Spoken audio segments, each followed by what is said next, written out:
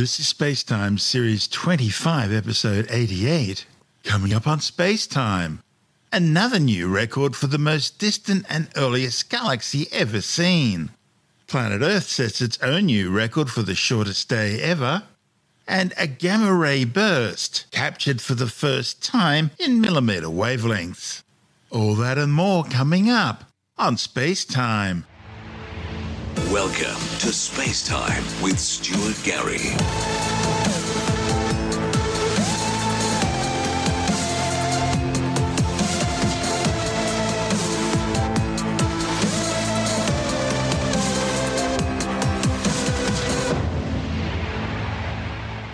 Astronomers have just set a new record for the most distant and hence earliest galaxy ever seen, dating back to just 250 million years after the Big Bang, some 13.8 billion years ago.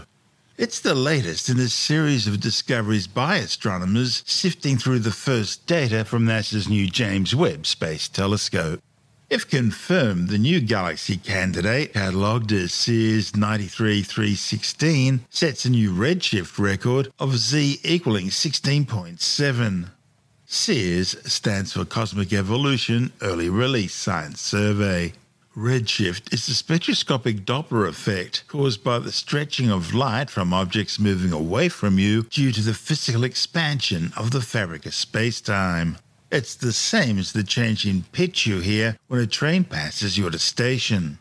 The findings, reported in the monthly notices of the Royal Astronomical Society, pushes back the cosmic dark ages and the epoch of reionization by hundreds of millions of years. Just last week, astronomers reported the discovery of Glass C13, a galaxy located some 13.5 billion light years away, in the process setting a new record for the furthest and earliest galaxy ever seen. Now, if confirmed by follow up spectroscopic observations, this week's new discovery pushes last week's discovery back by another 50 million years. The findings are showing that a significant population of galaxies existed far earlier than what our best computer simulations have been predicting. And that's raising some real interesting questions about how and when the first stars and galaxies formed. The new data being revealed by James Webb is helping to shorten the gap to the cosmic microwave background radiation, the faint afterglow emitted some 270,000 years after the Big Bang when the first atoms formed, allowing photons to fly freely for the first time. This is space time. Still to come, planet Earth sets a new record for the shortest day ever and a unique telescope array to study galactic collisions. All that and more still to come on Space Time.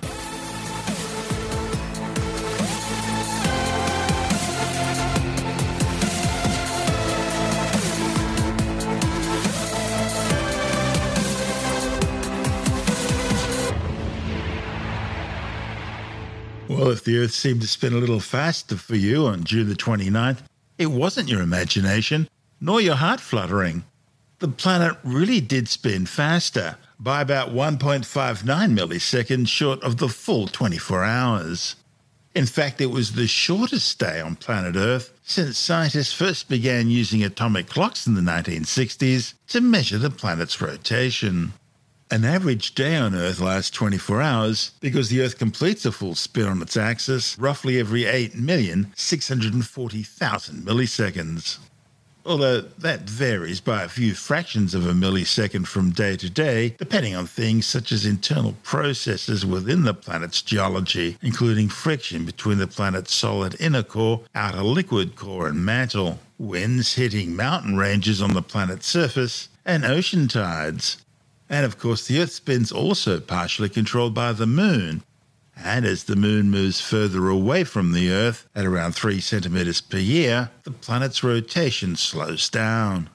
In fact, some 1.4 billion years ago, a day on Earth lasted less than 19 hours.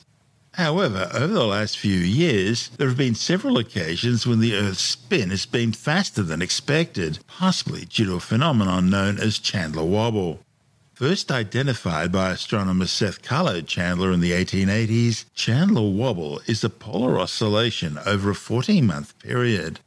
Chandler wobble normally is an amplitude of around 3 to 4 meters at the Earth's surface, but it disappeared between 2017 and 2020. Natural disasters and weather effects such as El Nino can also influence the Earth's rotation. For example, the devastating 2004 Indian Ocean earthquake and tsunami shortened the length of the day on planet Earth by 3 microseconds. The planet experienced a record breaking short day on July the 19th, 2020, when the Earth completed a full rotation 1.47 milliseconds under 24 hours and that record remained until broken by the minus 1.59 millisecond day on June 29th. And July 19, 2020 didn't retain the number 2 spot for long either, with July 26, 2022 reaching a time of minus 1.50 milliseconds. So it looks like time really does fly, and it's flying a lot faster for the Earth than what it should. This is space time. Still to come a unique telescope array to study galactic collisions, and one of the most powerful explosions in the universe since the Big Bang, a gamma ray burst, captured for the first time in millimeter light. All that and more still to come on Space Time.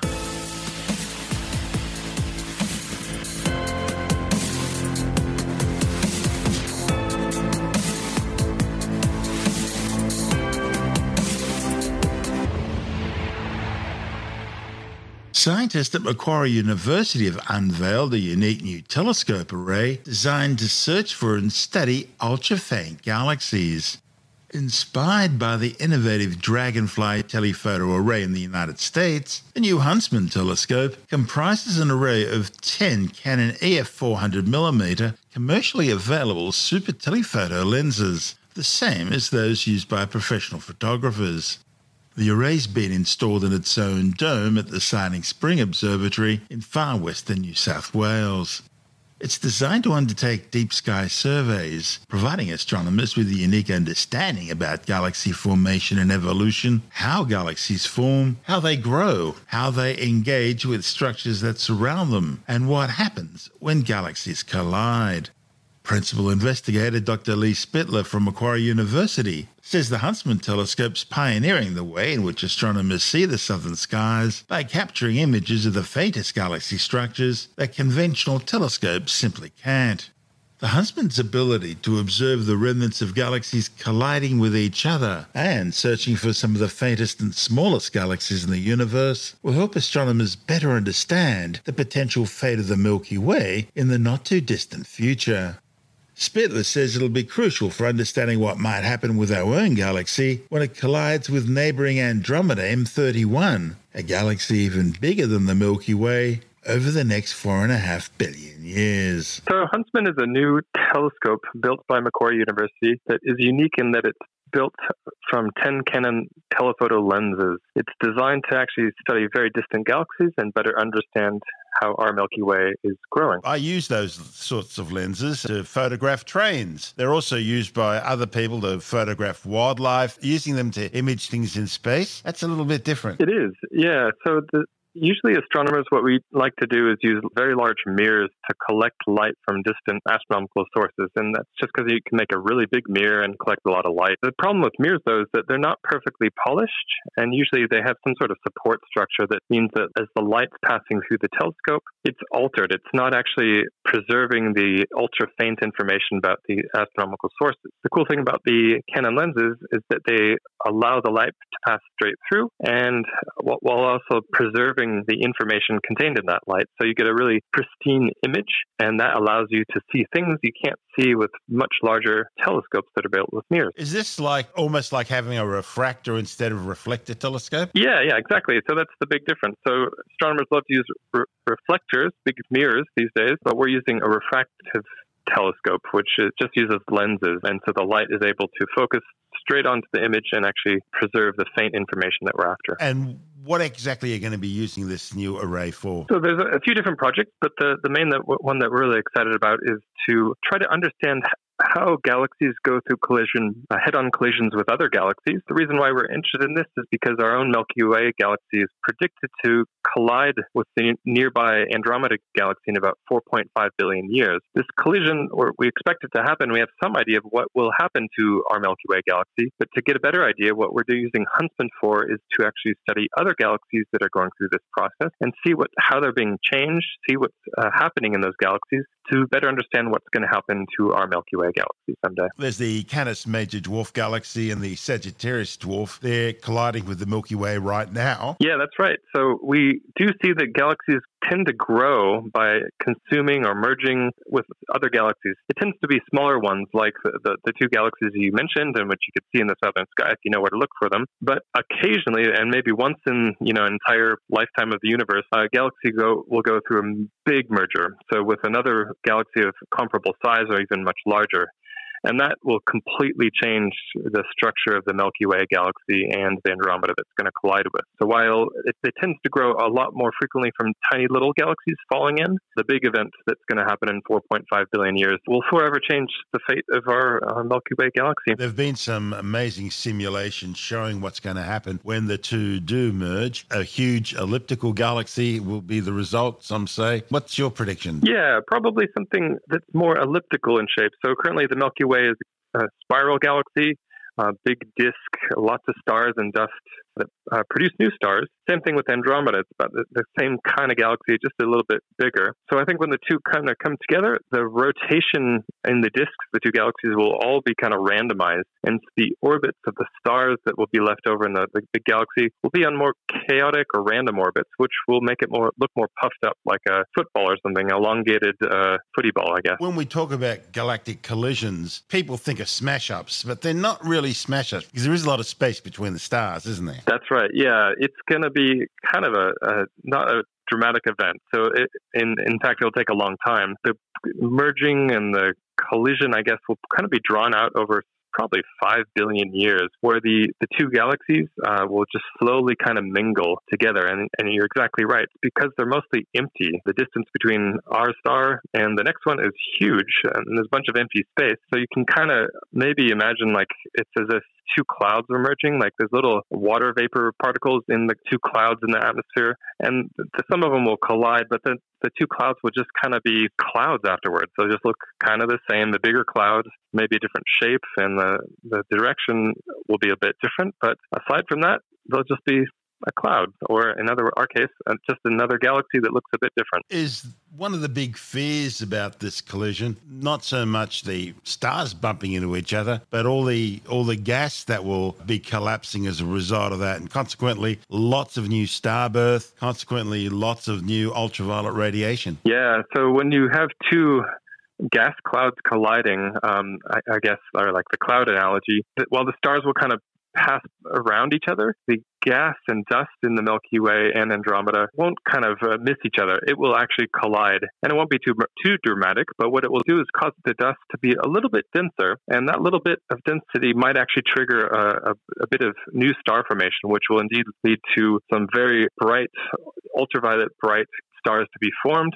And if you're nearby one of those, you're you're in big trouble because the amount of UV light they put off is significant, and uh, it would definitely impact any sort of form of life that was nearby. So you're right. We probably need to maybe worry more about that. Another consequence, though, might be that you you kind of consume the last bit of gas and dust in the Milky Way. So there might be a big event where a lot of stars are formed, but maybe that consumes the most of the gas that's left over. And so Another potential outcome is that you have some star formation, but then that kind of is it. Uh, you stop forming a lot of stars in the future in the Milky oh, Way. No, dead and red. Exactly. Yeah. So that might another might be a, a problem if you well, I don't know want to continue living many billions of years in the future, and you need new stars to go inhabit. Assuming we're kind of zipping around the, the, the Milky Way at that time. Yes, is assuming that the gravitational perturbations haven't flung us off into deep space. That's true. Yeah. Um, if I guess the sun's you know due to end its life around the time we're colliding. But if we're still around uh, maybe like another star, then indeed we might get unlucky and get slingshotted out uh,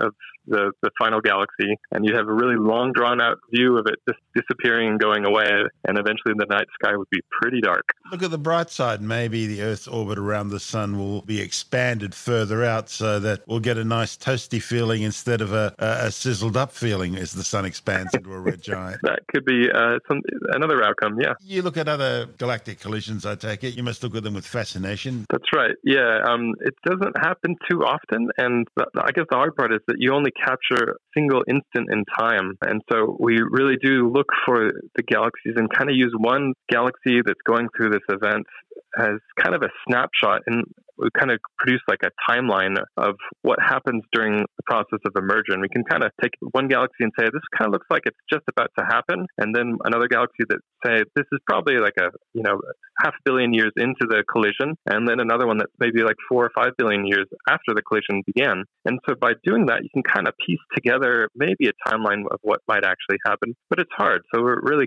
try to do find these colliding galaxies and what the Huntsman telescope will do is kind of allow us to see the, the very end stages of that. So we won't get information about the, the really obvious ones. We'll look for more subtle signatures of that merging process. Um, and that's what Huntsman's really good at, looking at this diffuse light that's coming off the galaxies, of stars being thrown off that galaxy, and look for that kind of signature. So I think that's kind of where Huntsman's filling a niche, looking at the, the final stages of the, uh, the collision to see how the, the stars eventually settle down, see if they're thrown out, uh, that kind of thing. So definitely keen to find galaxies that are going through that process. Now, so far you've avoided the D word. I've got to ask you, when galaxies collide, there's got to be stuff happening with the dark matter in those galaxies. Will Huntsman do anything in that regard? Will will it show us areas of density that are likely to be hosting more stars? Yeah, Uh, I, I think we can't directly see what's happening with the dark matter, but I guess one way that we are kind of looking for things that are dark is working with radio astronomers in Australia who are looking at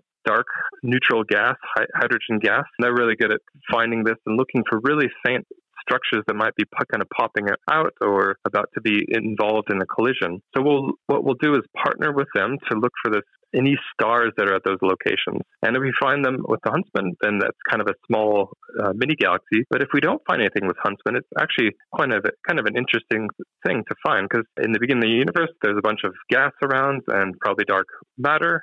And so you expect that maybe there's some failed galaxies, ones that just didn't have enough density and maybe enough dark matter to actually form new stars. And so maybe we'll get lucky and find kind of these dark galaxies yeah, when we team up with the, the radio astronomers in Australia. So I think that's the main way that Huntsman can help out with that effort, uh, looking for galaxies or proving a galaxy is truly dark. It doesn't have any stars in it. An area of debate whether or not globular clusters, these are collections of thousands, maybe hundreds of thousands of stars all tightly packed gravitationally together, whether these things are, are, molecular gas and dust clouds that have all become stars at once and they've just hung around together, or whether they're the cores of galaxies that have already emerged. What's your evidence telling you? Yeah, so I, I guess I would say that there's a, probably a, a, mixture of both. So we do know from observing other galaxies that globular clusters are, are really abundant in very massive galaxies. We know that massive galaxies formed really quickly in the early universe. They were in a very dense region of the universe, so lots of dark matter, lots of dust, gas, everything you need to produce stars. And they, they probably collapsed very quickly under the gravitational influence of so much dark matter. And in such chaotic conditions, such dramatic bursts of star formation, you're inevitably going to get big clouds that collapse into a single population of stars. They'll be really dense, and that's exactly what, what probably produced globular star clusters. So probably the most of the globular star clusters in big galaxies like that are from that kind of formation. But we also see smaller dwarf galaxies that have these nuclei. They're, they're right in the core of the galaxy. There's this really compact star cluster that we call a nuclear star cluster. But when you kind of look at a nuclear star cluster and a globular cluster just floating around the Milky Way, you do see some similarities. So it does suggest that there are probably some globular clusters in our Milky Way and other galaxies as well that were once at the core of a, smaller dwarf galaxy. And as that galaxy was consumed and fell into the Milky Way, it uh, stripped off all the stars around the galaxy, except that core was still preserved because it's so dense um, it can actually survive something like that. And so that's probably what's produced maybe the more massive globular star clusters in the Milky Way and other galaxies. Uh, a really compact bit of star formation uh, at the center of the of a different galaxy that's now deposited itself and, and, is now orbiting the Milky Way.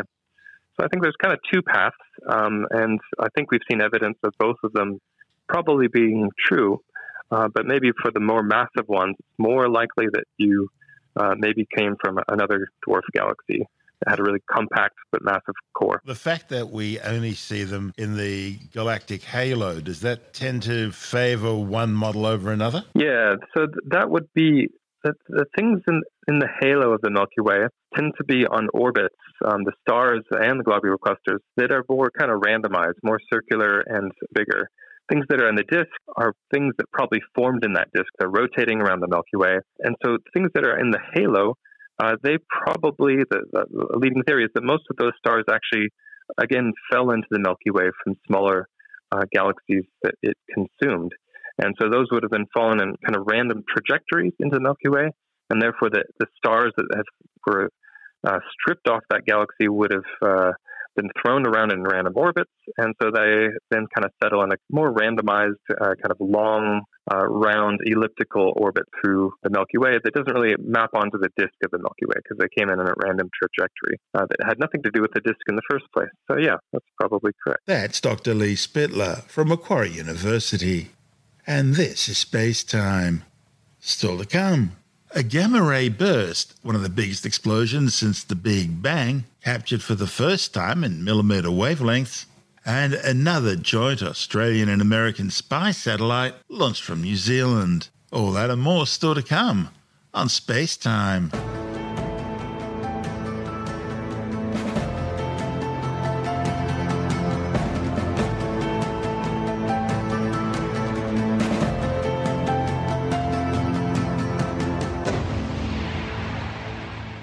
Scientists using ALMA, the Atacama Large Millimeter Submillimeter Array Radio Telescope, have for the first time recorded millimeter wavelength light coming from a gamma ray burst, the fiery explosion caused by the merger of a neutron star with another star.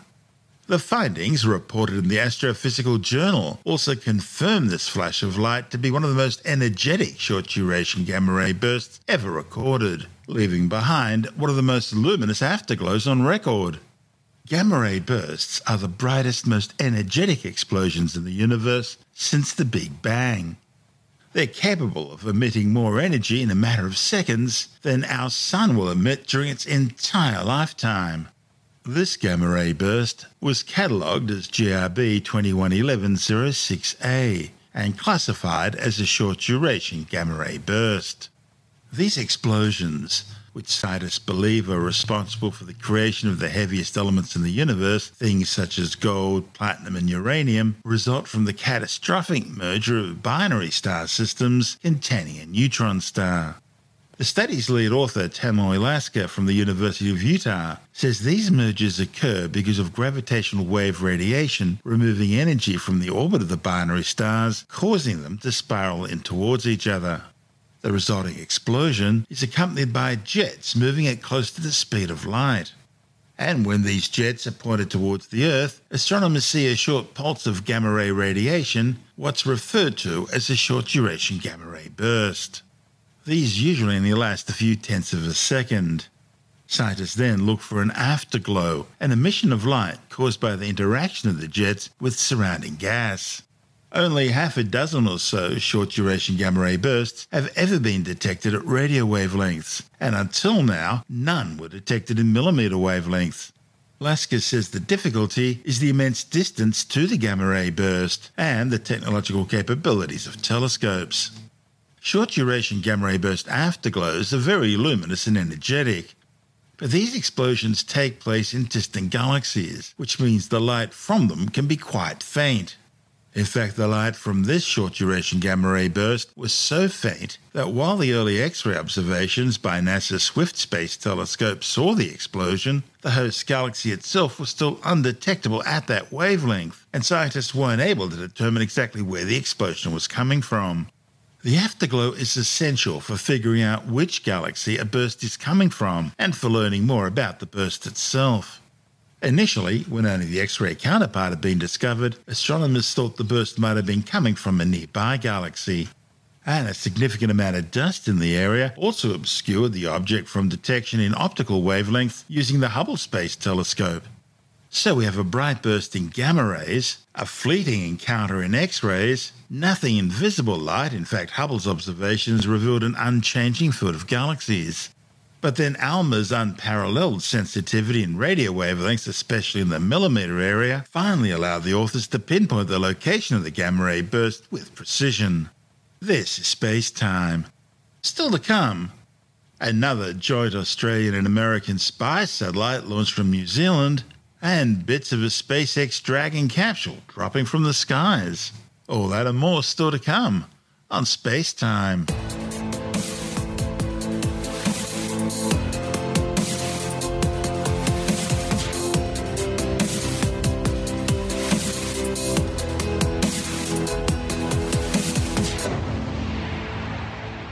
This is Space Time. Briefly, in other news, Rocket Labs have launched another joint Australian and American spy satellite into orbit aboard their Electron launch vehicle. The NROL 199 mission flew from Launch Complex 1B at Rocket Lab's Mahia Peninsula Launch Facility on New Zealand's North Island east coast. The mission for the United States National Reconnaissance Office and Australia's Department of Defence is the second spy satellite for the two nations to be launched in three weeks and comes amid rising tensions in the South China Sea, where Beijing has launched what it's calling war games off the coast of Taiwan. The mission, named Antipodean Adventure, had been delayed by several days because of high winds in the launch area. It follows the launch of the NROL 162 mission for Washington and Canberra back on July the 13th.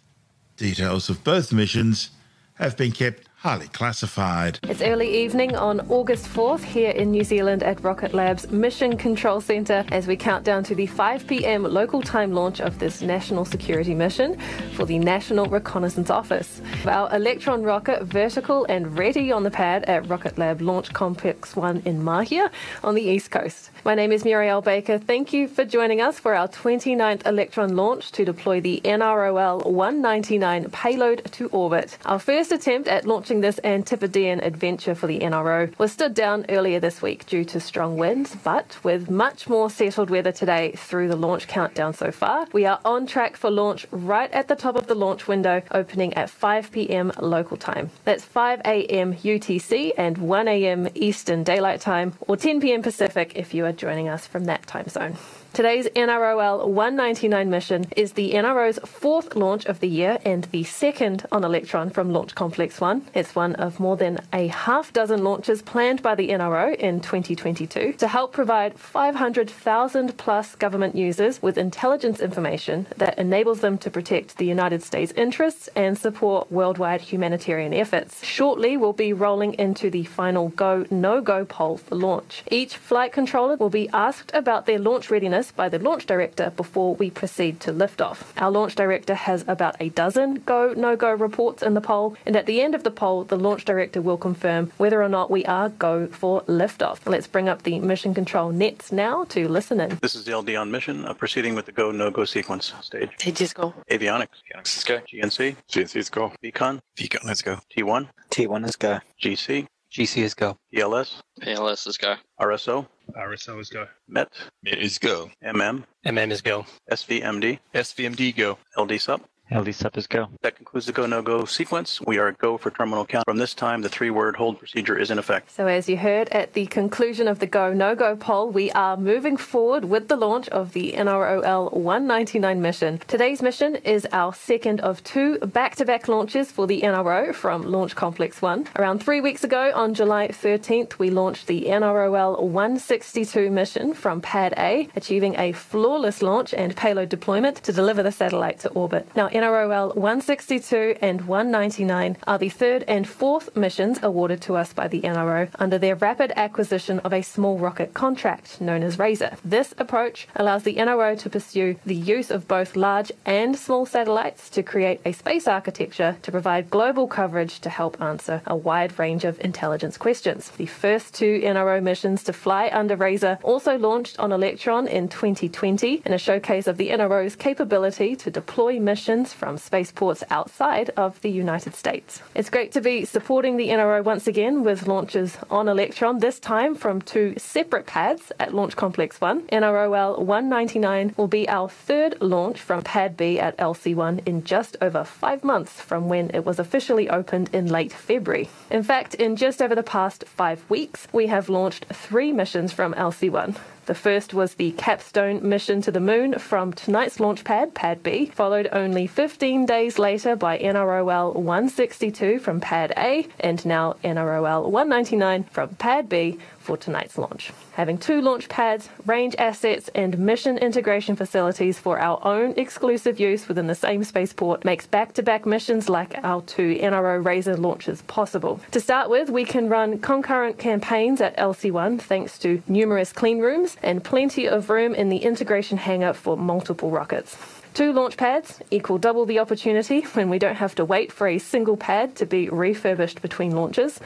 And if customers' missions need extra time and attention, we can keep the rest of Electron's manifest on schedule by proceeding with the next launch.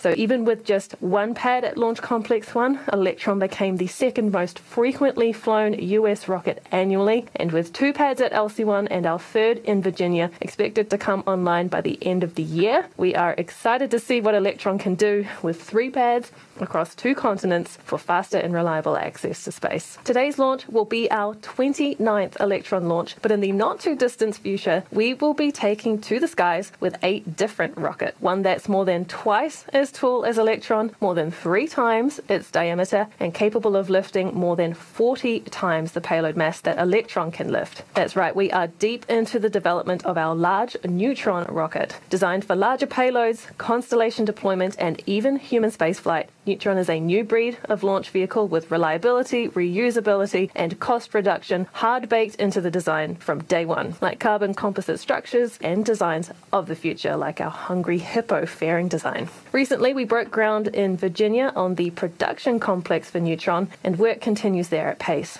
the 250,000 square foot production complex is being built on a 28 acre site near the NASA Wallops Flight Facility and Mid Atlantic Regional Spaceport on Virginia's eastern shore. Neutron's first pad will also be located there, close to the Launch Complex 2 pad for Electron. Every launch, before we roll out to the pad and get ready for the mission of Electron, each Rutherford engine goes through a rigorous test campaign. Each of these engines, and in fact, each of their components, go through extensive quality assurance tests at our propulsion test facilities. Each pump and motor controller goes through a flight like acceptance test on our test rigs before they are assembled to a Rutherford. And then each engine must first pass a bench test before moving through two hot fire tests at one of our engine test cells. Finally, once the engines are assembled into the nine engine configuration we call the power pack, the entire first stage and its engines are tested. We call this a stack test, and this process is in fact repeated for stage one, stage Stage 2 and the Curie engine module on our kick stage. Running our engines at least three times before launch is one of the many ways we drive mission assurance with Electron. Let's hand it over to our launch director to take us through the final reports from mission control operators and lead us into the 10 second countdown to liftoff. Flight computer ASGOs are green. Confirmed ASGOs are green. Beacon, lock auto sequence and confirm.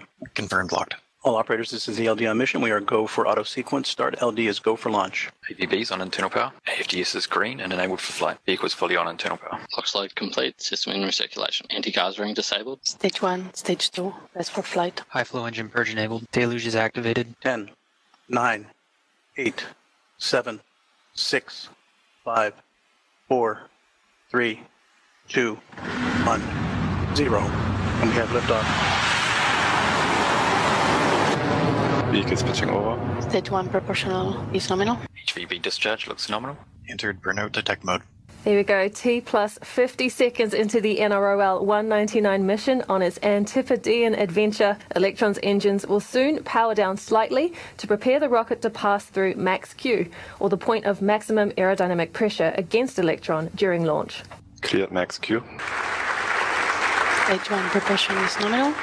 And Electron has passed through Max Q, the rocket's first major test after leaving the pad at Launch Complex 1 on the coast. Electron's nine Rutherford engines are firing hot as they burn through the first stage's tanks of liquid oxygen and RP1 propellant. T plus 1 minute and 42 seconds in Electron's trajectory is also looking good.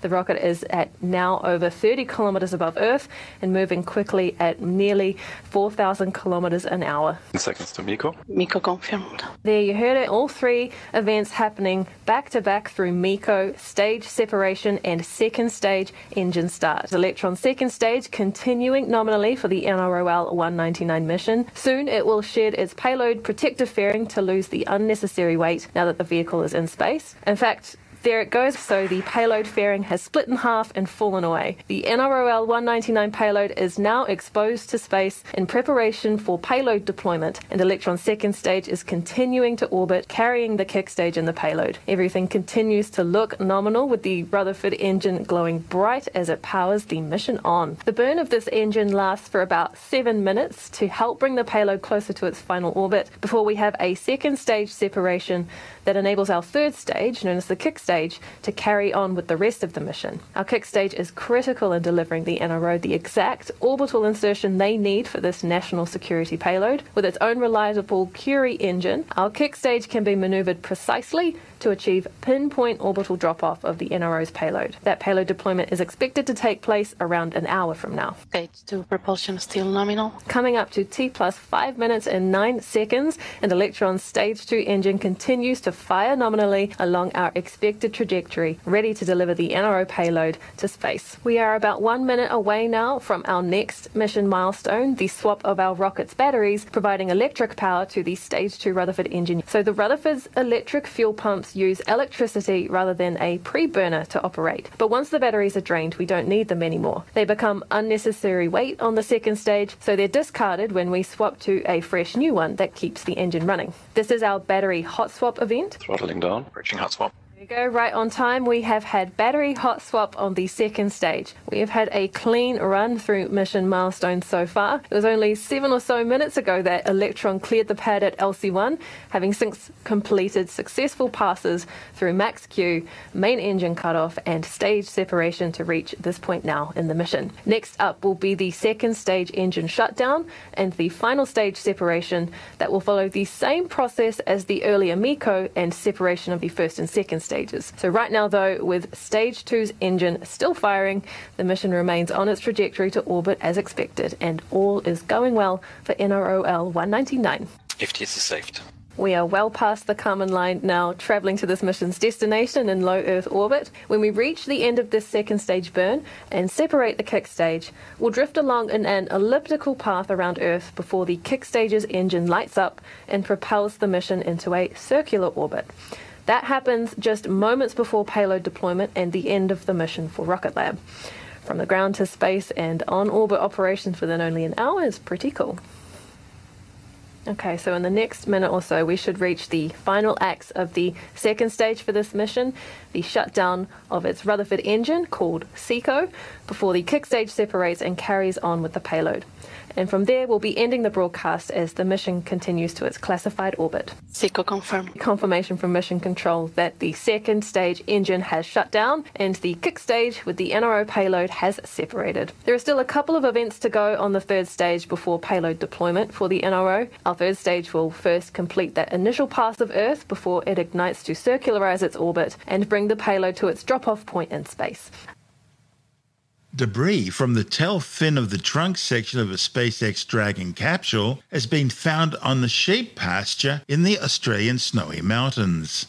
The crash site near the New South Wales rural town of Dalgety matches the orbital flight path of an unpressurized trunk section which should have burnt up during atmospheric re entry. Chunks of the charred debris, including a 3 metre fin section, were found days after locals heard a loud bang rumbling across the countryside. The trunk section is jettisoned in low orbit before the capsule begins its re entry phase into the planet's atmosphere, and this particular trunk section would have been jettisoned back in May 2021. It belonged to the Dragon crew capsule carrying the Crew 1 astronauts who had been on station since November 2020. The trunk would have just continued orbiting around the Earth in an ever more slowly degrading orbit, bouncing off the thicker layers of the atmosphere before eventually finally plunging down into it, which is what happened in July. The sheep farmers then discovered the debris when they were doing their local rounds of their properties. After finding the debris, they called the Civil Aviation Authority, that's the Australian counterpart to America's FAA, and they told them to call NASA. However, luckily, a scientist who'd been monitoring the situation, astronomer Brad Tucker from the Australian National University, called the Australian Space Agency instead. And they were able to confirm that the remains were indeed part of a Dragon spacecraft trunk section. And the pieces weren't alone. As well as the two chunks found near Dalgety, a third piece was found further west, near the Snowfields resort town of Jindabyne. China is undertaking the maiden flight of a new small payload rocket. The 30 metre tall ZK 1A was launched from the Jiuquan Satellite Launch Center in northwestern China. The new booster replaces the Long March 11 as Beijing's largest and most powerful solid fueled rocket. It's designed to carry up to one and a half tons into a 500 kilometre high sun synchronous orbit and two tons into low Earth orbit. For its maiden flight, the new launcher carried what Beijing claimed was six experimental microsatellites. Meanwhile, Beijing's launched another three Yaogan 35 spy satellites from its Xichang Satellite Launch Center in southwestern China aboard a Long March 2D rocket. The trio joined six Yaogan 25 satellites launched in November last year and June this year. The spacecraft have been placed into a 500 kilometre high orbit. Beijing claimed the new satellites will be used for scientific experiments, monitoring land usage and natural resources. However, what they'll really be doing is providing surveillance and reconnaissance operations for the People's Liberation Army, providing near continuous high resolution and electronic monitoring of areas of interest to Beijing as part of the Communist government's preparations for war. China now has an estimated 521 satellites orbiting the Earth. And since 2016, Beijing's launched more than 202 Earth observation, surveillance, and reconnaissance satellites, including at least 41 Gaofen and 95 Yaogan spy satellites. This is Space Time.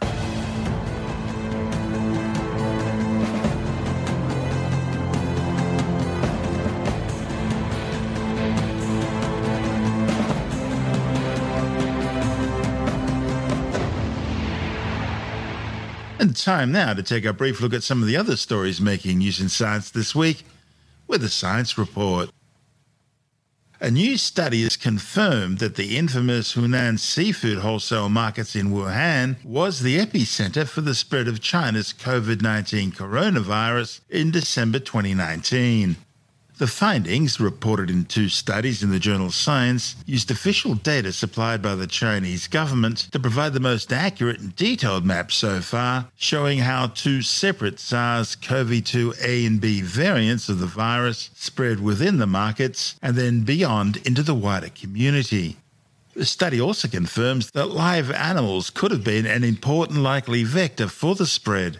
However, the study's authors point out that these weren't the first cases of COVID 19 in Wuhan, nor the only ones.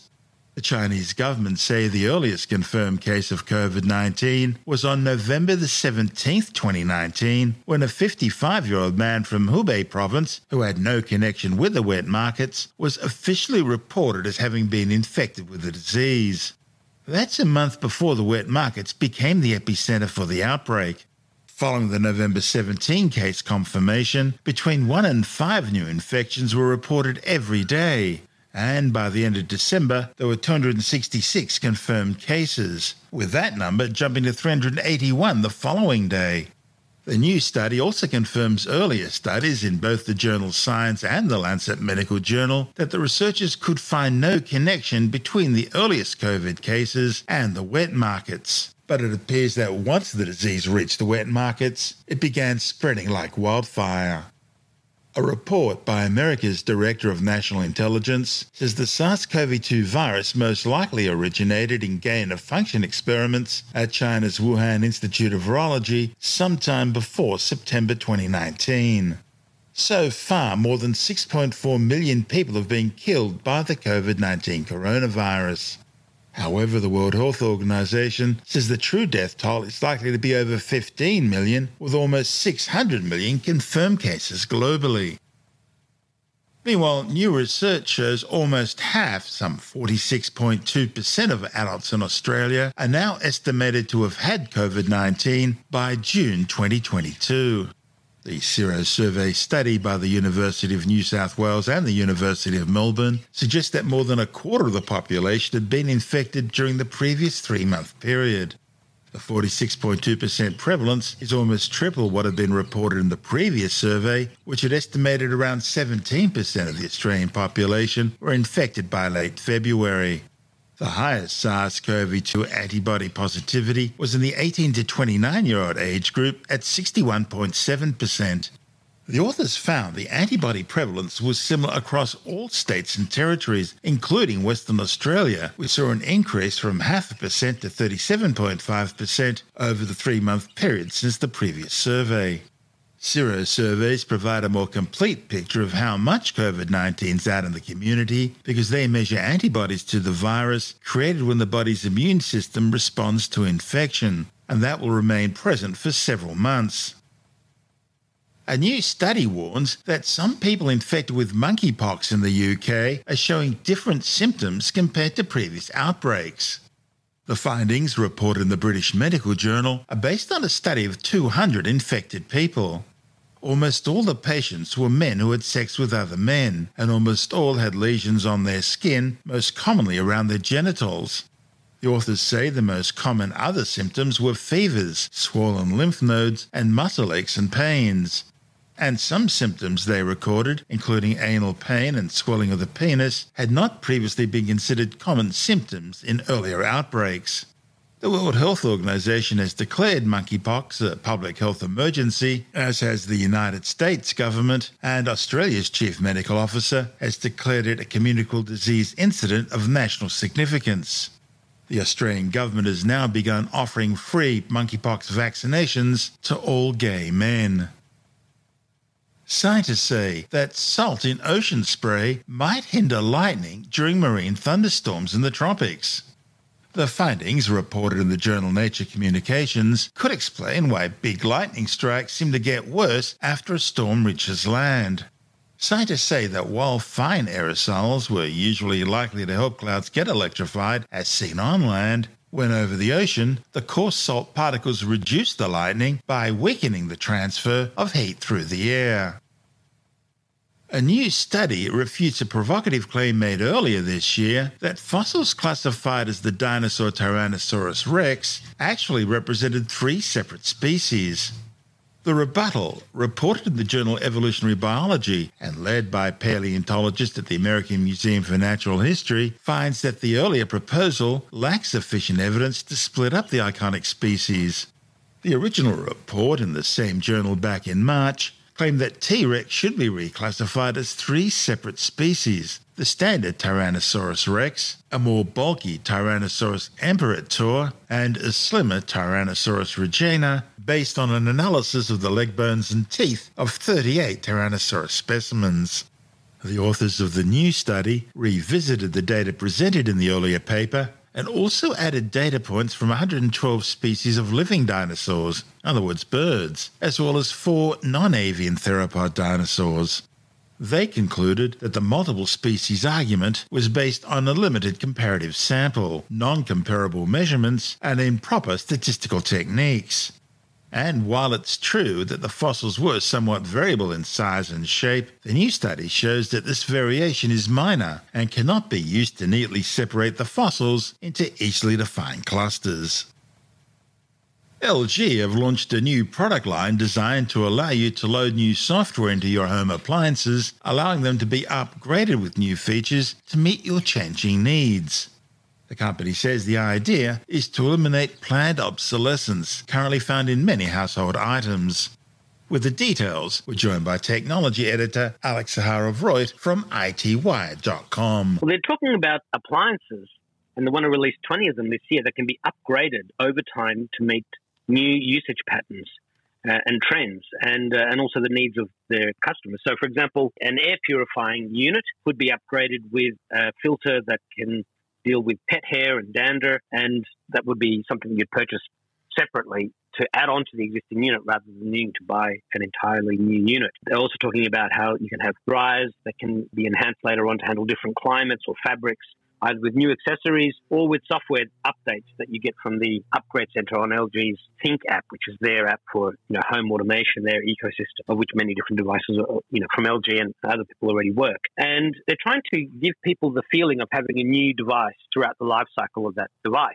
I mean, it's not the first time that it's been done. Samsung did launch a premium TV probably nearly 10 years ago that you were supposed to be able to upgrade the chip of for a certain amount so that you'd get next year's smart TV smarts in your TV that you purchased this year. This was meant to be a high end, top of the line unit, but that, they failed in, in sort of um, keeping that going because I guess the rest of the, the technology in the TV advanced too quickly and so that quickly disappeared. But the idea of having technology that is designed to be upgraded if you want the extra features over a number of years before they launch new models or you know, they might launch new models that have those features, but the, the upgrade part's compatible, is something that is new. It's different. Uh, normally, we talk about the throwaway society these days where something breaks and it's too expensive to fix it, uh, compared with how things used to be in our parents' or grandparents' time when they'd buy a washing machine that would last for decades. Yeah, that's what our parents and grandparents used to look for in the cars and the home appliances they bought. These were things that they would have bought them in the 50s. They were still going strong in the 60s and 70s. Yeah, and potentially longer Whereas over the past couple of decades, you would buy something that was cheap. Things were being pushed down in price. Corners were being cut in factories, usually, you know, to move to China or to somewhere that wasn't being made in Germany or in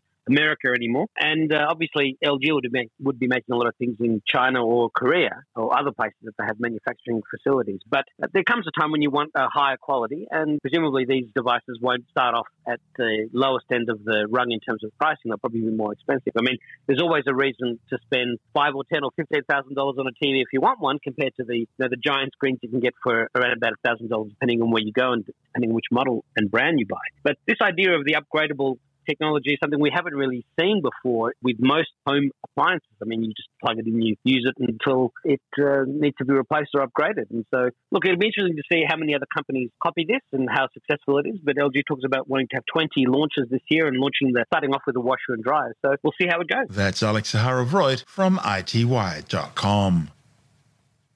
Okay, it's time for our silliest story of the week. And when it comes to scary places, you can forget Dracula's Transylvania or Hansel and Gretel's Black Forest and its cannibal witches. A self proclaimed expert in the supernatural says Scotland is the world's most haunted place. This paranormal purveyor says Scotland's born witness to hundreds of years of genocide, oppression, horror, magical beasties, and strange lore, leaving the land with unspeakable trauma. Tim Mendham from Australian Skeptics says those behind these latest claims are putting it all down to quantum theory. And if that doesn't set your skeptical alarm bells ringing, nothing will. Yeah, this is a claim or statement put forward by people who are making a TV show about Scotland being a haunted country. So you could almost say, yes, well, they would say that, wouldn't they? Sort of most haunted country in the world. And you sort of wonder about this, especially this one particular expert parapsychologist, as they're always described as an expert. I haven't met any paranormal parapsychology researcher who's not an expert, apparently, that was saying that almost every house in, in Scotland is haunted, there's spirits, etc. This particular person is very strange. There'd be Scotch whisky spirits then, wouldn't there? Uh-huh, yes. Uh-huh. I'm sorry, carry on. Okay, Anyway, this particular uh, paranormal expert, whose name is uh, Evelyn Hollow, she says that Scotland leads the pack when it comes to gory hauntings. And she says she got into becoming a parapsychologist, which I don't think is quite the same as a paranormal investigator, by seeking to apply scientific principles to anomalous phenomena. The further into quantum theory I worked, the more things like ghosts started to make sense. Now, as soon as you get a psychic or paranormal expert saying quantum, if the little flag goes up, Oh, yeah. Quantum has nothing to do with spooks or ghosts or no, vampires. no, but it is strange. Quantum Yeah, and- simply means a unit Yes, degree. yes. Quoting quantum theory is, is a standard catchphrase. It's thrown in all the time. And we've actually wrote an article in our most recent issue of the magazine called Quantum Quackery, which is about how often it does happen. It's been happening for ages, ever since quantum theory has been put forward. And people started seeing strange things in quantum theory, but of course, quantum theory applies to uh, subatomic level activity, but there's things that are happening which are counterintuitive. So therefore, ah, counterintuitive ghosts or psychic powers. And they make a huge jump. And it's basically just thrown in. I dare say if you put them to the test, most of these experts wouldn't understand what quantum theory is. Um, I find it very, very, you know, counterintuitive and that sort of stuff. But these, the psychics and things, and this You wait till this you learn person who about dual time. That'll set your head spinning. Thanks.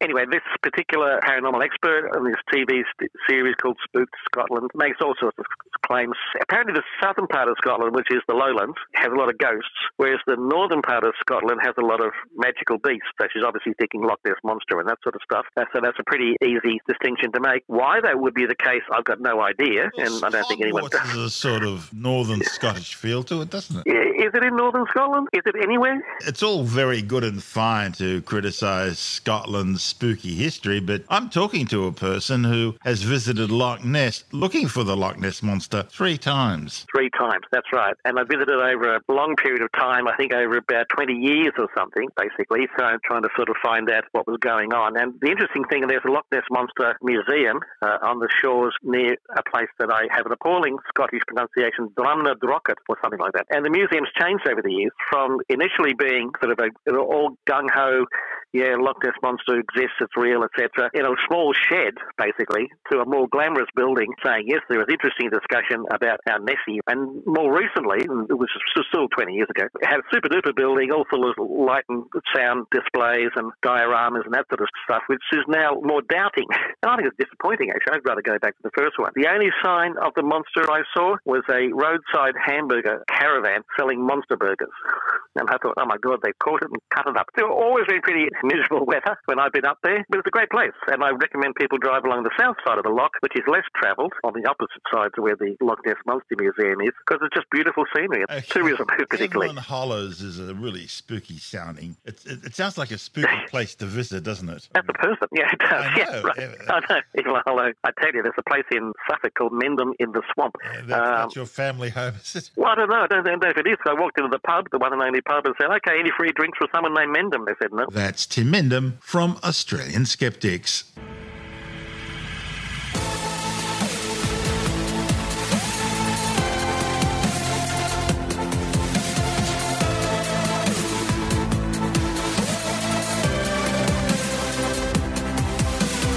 And that's the show for now.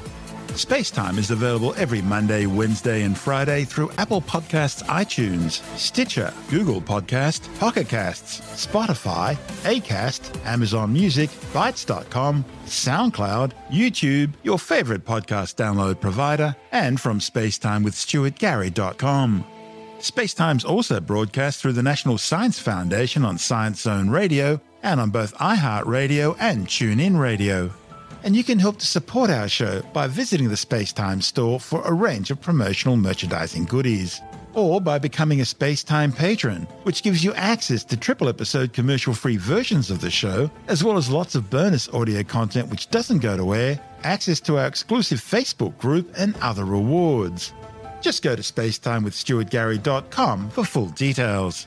And if you want more space time, please check out our blog, where you'll find all the stuff we couldn't fit in the show, as well as heaps of images, news stories, loads of videos, and things on the web I find interesting or amusing. Just go to spacetimewithstuartgary.tumblr.com. That's all one word, and that's Tumblr without the E. You can also follow us through at Stuart Gary on Twitter, at Spacetime with Stuart Gary on Instagram, through our Spacetime YouTube channel. And on Facebook, just go to facebook.com forward slash spacetime with Stuart Gary. And Spacetime is brought to you in collaboration with Australian Sky and Telescope magazine, your window on the universe. You've been listening to Space Time with Stuart Gary. This has been another quality podcast production from Bitesz.com.